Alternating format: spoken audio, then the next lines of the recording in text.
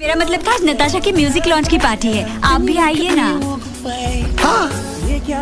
Music आप singer हैं? Yes I love singers singers मेरा मतलब है I love music you know music is my life I just love music